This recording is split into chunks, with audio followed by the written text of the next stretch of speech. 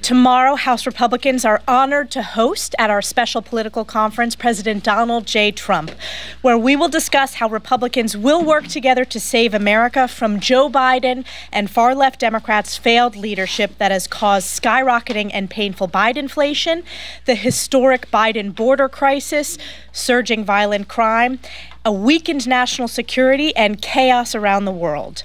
This week on the floor, House Republicans are delivering on our promise to hold the Biden administration accountable when we bring to the floor our resolution to hold Attorney General Merrick Garland in contempt of Congress for refusing to comply with our subpoena and release the audio recordings of Joe Biden's interview with special counsel Robert Hur.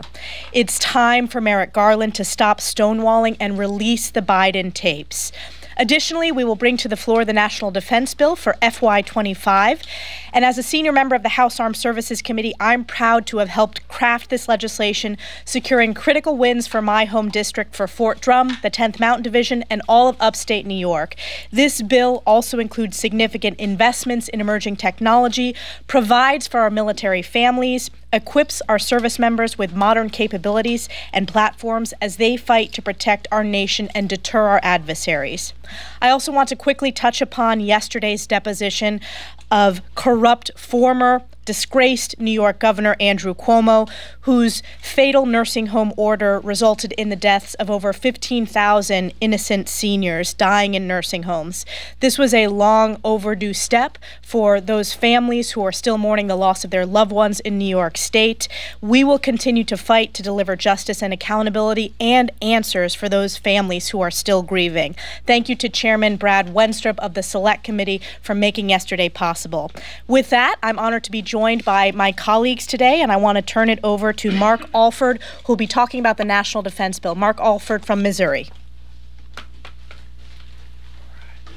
Uh, thank you, Madam Chairwoman, and thank you, Mr. Speaker, and all my colleagues up here. Hey, this is a good day in America, and I'm so honored to be on the Armed Services Committee. Uh, folks, we are at a critical, critical time in our nation's history. Our military plays a, a vital role in shaping the future of American freedom, safety, and security, while also ensuring that a Western rules based order remains the foundation to a stable world. This year, we have focused on three major components in the National Defense Authorization Act, the NDAA, enhancing U.S. deterrence, countering China's aggression, and improving the quality of life for our service members. China's aggression is the greatest national security threat to America today. To deter China and other adversaries, we're investing in key platforms like the B 21 Stealth Raider, which is being built right now in Palmdale, California, and will eventually be housed. Uh, one of the three bases at Whiteman Air Force Base in the 4th Congressional District of Missouri, which I represent. This NDAA strengthens our military assets in the Indo Pacific by increasing shipbuilding capacity and authorizing two Virginia class submarines. The FY25 NDAA will also increase junior enlisted service members' pay by almost 20 percent enhance housing for service members, boost pay and benefits for child care staff, expand access to medical care for service members. The foundation of this year's NDAA is the quality of life for those who serve. And I'm so uh, glad to be a part of the quality of life panel that General uh, Don Bacon chaired under the direction of Chairman Rogers for the Armed Services Committee. This is so important to our committee. This is a bipartisan bill to improve the quality of life for those who are willing to serve and possibly die for our great nation. Now is the time to come together to come together to pass the FY25 NDAA and strengthen America's defense, deter our adversaries, and support the brave men and women who defend our freedom. I'd like to bring up the chair of the Judiciary Committee now, Chair Jim Jordan. Uh, thank you, Mark. Um, last September, the Speaker of the House announced that the uh, House of Representatives would be entering an impeachment inquiry phase of our oversight work. On December 13th, the full House of Representatives voted to to do just that, to formalize that. Um, this is a power that is exclusively uh, exclusively resides in the House of Representatives, and one of the most important powers that we have as a, as an institution and as a body. Um, Robert Hur on page one of his special counsel report said Joe Biden knowingly kept classified information, Joe Biden knowingly disclosed classified information, and he disclosed that information to someone who wasn't allowed to get it. Page 231, he told us he told us why Joe Biden did those things. He said Joe Biden had strong motivations for ignoring classified procedures because he was writing a book, a book for which he got paid $8 million. So we have motive, an $8 million motive. We have the elements of the crime, knowingly keeping, knowingly disclosing, giving that information to someone who wasn't allowed to get it. We have all that, and yet the special counsel said he would not recommend charges for uh, President Biden. We think we're entitled to, we don't, we don't think, we know we're entitled to all the evidence, and that includes the best evidence, which is this audio tape. That's why we sent the subpoena. The Attorney General has been clear he's not going to give that information to us. So, um, that's why we have the contempt resolution. We assume this is going to wind up in court, but we think our case is strong and we think that we will prevail. But step one is to pass the resolution holding the Attorney General in contempt for not giving the House of Representatives, the body who's in an impeachment inquiry phase of our oversight responsibilities, not giving us the best evidence. Finally, I would just say this we think the privilege has already been waived. We think when they uh, gave us the transcript, they've waived the privilege and understand that there have already been times where the transcript that we've received from the White House doesn't match up with what was actually said by the President of the United States. And so, again, for all those reasons, uh, we think we need this information, and that's why the resolution will be on the floor today. And I'll let the next gentleman talk about the vote on that, and that's our good whip, Tom Emmer. Thank you, Jim. So the question that should be asked is what are they hiding and why? These are fundamental questions behind House Republicans' resolution this week to hold Attorney General Merrick Garland in contempt of Congress for refusing to comply with our lawfully issued subpoenas. To set the scene, Attorney General Garland handpicked special counsel Robert Hur and Jack Smith to oversee the investigations into Joe Biden and Donald Trump's handling of classified documents. Hur concluded that although President Biden, quote, willfully retained and disclosed classified materials as a private citizen, close quote, criminal charges were not warranted because Biden is an, quote, elderly man with a poor memory. In stark contrast, former President Donald Trump was hit with a 37 count indictment from special counsel Smith alleging that he willfully retained classified documents after leaving office. Second, the White House has a history. I'm sorry. Second, in accordance with our legislative oversight authority of special counsels and impeachment inquiry into President Biden, House Republicans on the Judiciary and Oversight Committee subpoenaed Attorney General Garland for records, including transcripts, notes, video, and audio files related to special counsel Robert Hur's investigation in order to assess his conclusions. And while the Justice Department handed over the transcript of Biden's interview with Hur, they've denied or, and refused to hand over the corresponding audio recordings. This is a problem for a couple of reasons. First, transcripts do not and cannot capture things like tone, inflection, pace, and pauses that fully convey a person's message. The audio recordings are necessary to adequately evaluate Special Counsel Hur's assessment about President Biden's memory and to determine whether the DOJ is engaging in a two tiered application of justice by refusing to indict Joe Biden. Second, the White House has a history of editing official transcripts to cover up Biden's gaffes. If the interview audio matches the transcript, why not release it? Why not comply with our subpoenas? Is Biden's Department of Justice covering covering their boss, these are all imperative questions that our committees will get to the bottom of, and this week's contempt resolution is a vital step in that effort. I encourage all of my colleagues to vote yes on this important issue, and with that, I turn it over to our leader, Steve Scalise. Uh, thank you, Whip. We have another busy week on the floor, and of course, it starts with the contempt of Merrick Garland. And then my colleagues have talked about this is something that we have been uh, trying to get the facts out for months and months. Uh, Merrick Garland knows what the rules are. Uh, he issues subpoenas himself, and he doesn't let the person that he's issuing the subpoena to decide whether or not they want to comply. And yet, that's what he said.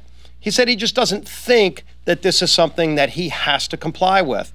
Well, with all due respect, Mr. Garland, this is not your decision. Congress has a constitutional duty to perform oversight, which is what we're doing. We're in the middle of an impeachment inquiry, which, as Chairman Jordan pointed out, has been voted on by the House already.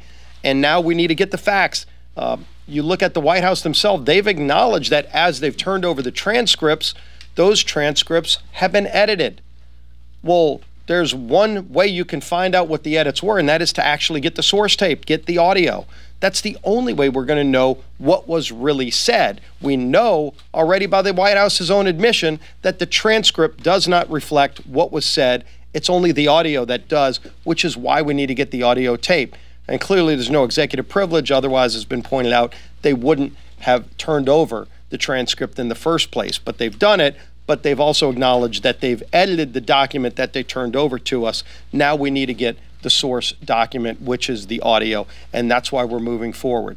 Um, we're also taking up the NDAA, as Mr. Alford talked about. Really, really important that we send a message to our men and women in uniform that we're going to give them all the tools necessary, not only to keep our country safe, uh, but to make sure that they and their families uh, have the things that they need so they don't have to be on food stamps, for example, uh, to increase their base pay for the entry level uh, men and women in uniform and all the branches of the military uh, to make sure that we're focused properly on China and the threats that are posed all around the world.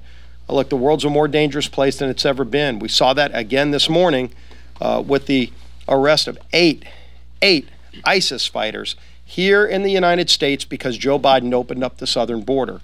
Uh, if anybody wondered, and we've been saying this uh, for years now, that because Joe Biden opened up the border, at some point our country will be at risk and our national security is undermined.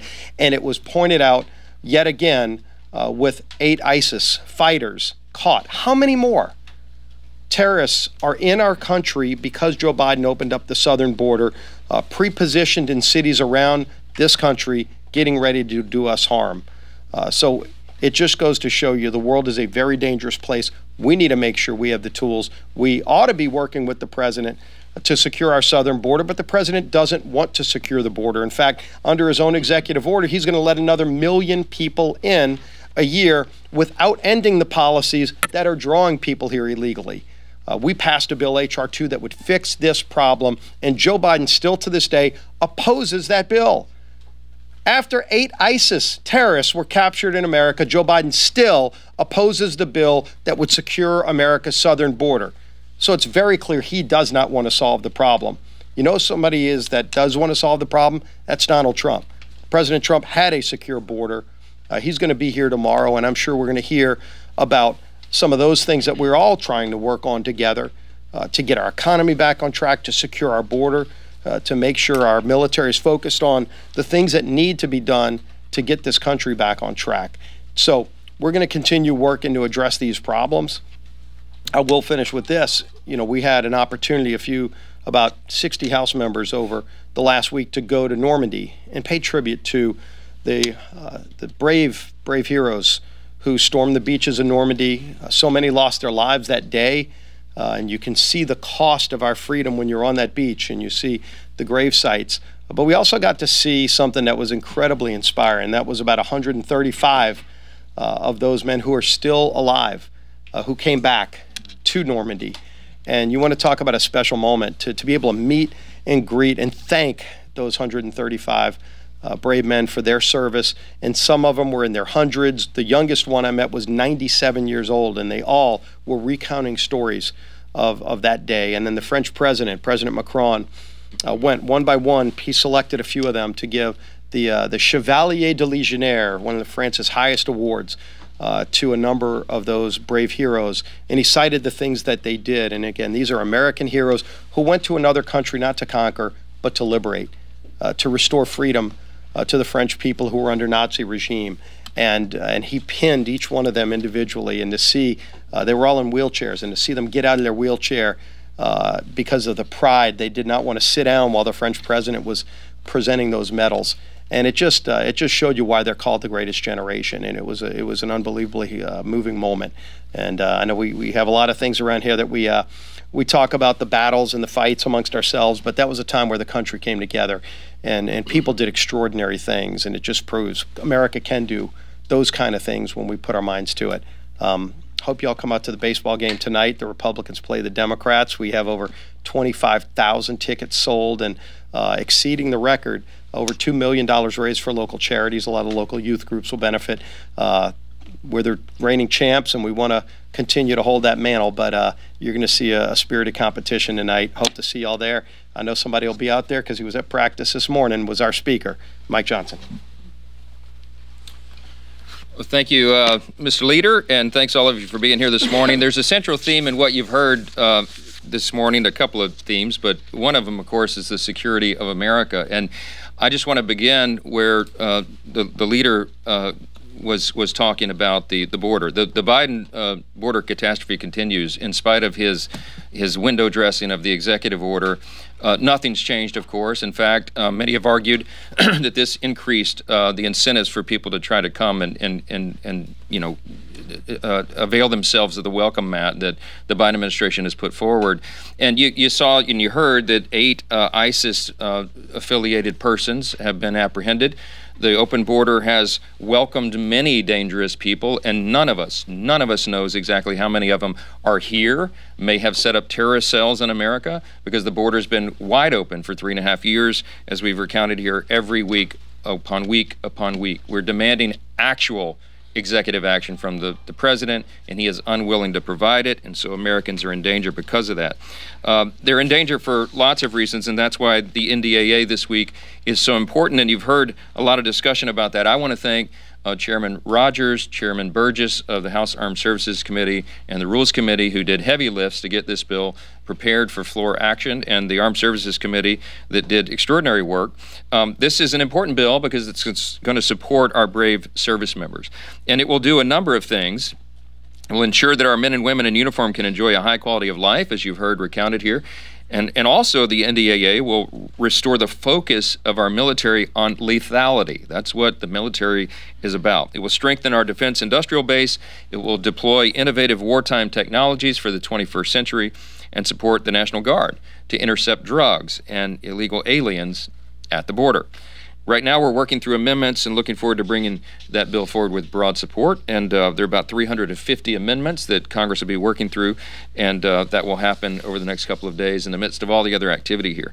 Uh, I want to just say a quick word about the Israeli hostage rescue. Um, we've not had a press conference since that occurred, uh, and the D.C. protests that go right along with that. Over the weekend, members of the IDF showed heroism and, and, tact and bravery, and they rescued four Israelis who are being held hostage in, in, Gaza, as we all know.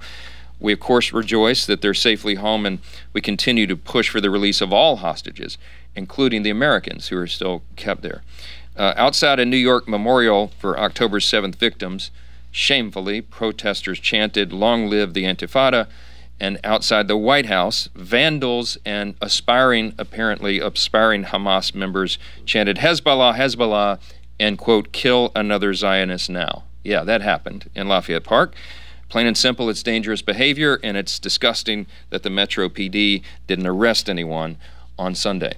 Um, we're talking about another theme, and that is the administration of justice in this country. And the contempt of Merrick Garland is a very important principle here. This week on the House floor, as you heard, Chairman Jordan and, and our leader and our whip uh, discussed, will be holding Attorney General Garland in contempt of Congress. He is refusing, refusing to comply with a lawful subpoena, and that's a problem under Article 1. We have to defend the Constitution. We have to defend the authority of Congress. We can't allow the Department of Justice, an executive branch agency, to hide information from Congress. We have important oversight responsibilities, and that is what is being pursued here.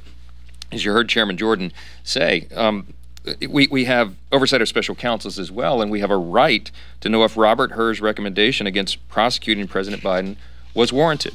And the best evidence, as, as Chairman Jordan said, was the audio recordings because they provide critical insight in what that transcript itself cannot provide. We have to know if the transcript is accurate. And as a former litigator, I can tell you, and many of us know intuitively, that when you have a, a printed transcript that someone transcribed, you don't know with 100% certainty whether it actually lines up with the audio recording, and that's why this is so important. Uh, the Attorney General doesn't get to decide whether he hides the tape, and that's what will be um, determined here. Um, I, I, do want to. Uh, there's a couple of things else that we wanted to talk about this morning, but I'll save it for questions. I, I can anticipate what some of them will be. I do want to say, though, at, on a brighter note, at the baseball field this morning, Republicans and Democrats out there in a great spirit. The weather's beautiful. Tonight will be a great game. You should come out. $2 million, in excess of $2 million to be raised for charity. And uh, it's something that unites everybody, for, at least for, for one night of the year. So we uh, certainly encourage you to come out. It'll be about, some, by some estimates, about 27,000 people that watch that game tonight. So it'll be a lot of fun. Uh, with that, we'll yield uh, to some questions. Front row. Two quick questions for you. Thank you. Um, first question: How confident are you that this vote to hold Garland in contempt will pass? And also, some Republicans are pushing for legislation that would allow current and former presidents to move a state case to federal courts. Do you believe that that legislation is necessary? Would you put that on the floor? Yeah, we're working through uh, with members bringing that to the floor. I'll address them in reverse order. Um, I, I, think it's an important principle. It, it, currently that is the rule for members of Congress. If if you're uh, sued, you can transfer it to federal court. It seems to make a lot of sense. Um, again, we're trying to preserve the integrity of the justice system, and we've seen some of these local and state prosecutors abuse that system. We've talked about it here many times. I won't recount all of it again, but I, I think that's a, a, an idea that makes sense. It makes sense to uh, most Republicans, and I think all, almost everyone will be in favor of that, and that's what we're talking about and trying to move some of this forward to address the two-tiered system of justice in this country, as we've talked about, we basically have a three-pronged approach. We're, of course, uh, aggressively pursuing the oversight responsibility that we have. We've talked about this morning. We are looking at other legislation, and of course, we have the appropriations. And uh, we're going to utilize every tool that we have in our arsenal because we're required to do so under the Constitution, and I think that's a part of it. And in pursuit of that, I do think that contempt um, of, of Merrick Garland will uh, will pass on the floor, and we're anxious to have that happen. Second row, yes, ma'am. Thank you, Speaker Johnson. I'm just wondering, with Trump coming tomorrow, what do you anticipate if he does win in November about his relationship with congressional Republicans? Do you think it'll be similar to his first term, or do you think you'll see more involvement, more coordination, more receptivity on this end? Yeah, I, look, I think it's important for the country to have us to have close coordination. I, I, I said many times I believe President Trump in his second term, which I believe he'll have, can be the most consequential president of the modern era because we have to fix effectively every area of public policy. The Biden administration has made a disaster of almost every area, which is why uh, the polling is is uh, so uh, in favor of the president, uh, President Trump, right now. And and I think when he comes in, we've got to have a very aggressive first 100 days agenda. The first year will be important. I think we cannot waste a moment because there's so many things to do. So in light of that, we're having discussions with he and his team now and amongst ourselves to plan accordingly. You don't put the cart before the horse, but you do have to be prepared to lead, and we're going to be prepared. And and I uh, I, I can't wait for that um, eventuality to, to come forward. If you look at the latest polling, everyone, uh, almost everyone now, is projecting that the Republicans will retake the Senate, that we will grow the House majority, and that we'll have the White House as well. And when you have unified government like that, it comes with great responsibility, and we look forward to those days and, and, and fixing lots and lots of things. So, uh, yeah, coordination is important. Third row, yes, sir. Um, I think Chip Roy, Bob Good a couple other uh, conservatives have raised the idea of passing a CR ahead of funding deadline in October. Have you discussed that possibility with the President? Where do you stand on that possibility? We're, we're talking about that and a number of possibilities. There are pros and cons to all these approaches. Um, I mean, one of the the initial concerns would be if you put that into, let's say, the spring of next year, um, that would uh, encumber the calendar a little bit if we're having to deal with appropriations in that first 100 days when we have all these other uh, things that we want to be doing. So we're trying to balance all those, those interests and, and do what is the most responsible thing for the country, uh, fiscally responsible, and, and by policy as well. So there's lots of thoughtful discussion uh, going on, very productive discussion going on on our side on, on what we'll ultimately do on that, but we'll keep you posted. Yes, sir. Third row. Mr. Speaker. Um, you and Leader Scalise talked about the importance of Merrick Garland complying with a congressional subpoena. I'm curious, since Chairman Jordan and four other colleagues declined to do that under the January 6th committee, if you worry that undermines the argument at all? Oh, I'm so glad you brought up the January 6th committee. We'll be talking a lot more about that in the coming weeks. There's been a lot of investigation about that committee. I don't think it was properly constituted. I don't think it was. Uh, it was, was properly administered, and now we know that um, apparently some of the evidence was hidden and some maybe even destroyed. So you'll see, you'll hear much more about that in the days ahead.